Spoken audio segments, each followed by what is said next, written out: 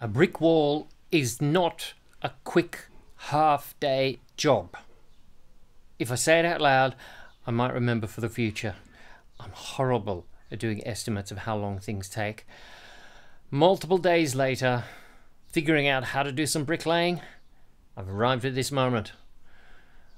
The one minute I get to stand back and look at a piece of finished work before I then continue on with the next thing the brick wall. Yes, I'm happy with the job that I've done. It looks quite neat up the top. Kind of a bit too neat for my liking. I, I, wasn't planning on doing a neat job. I really was trying to just slap it all in place, but it seems I only have one mode, that is slow and neat.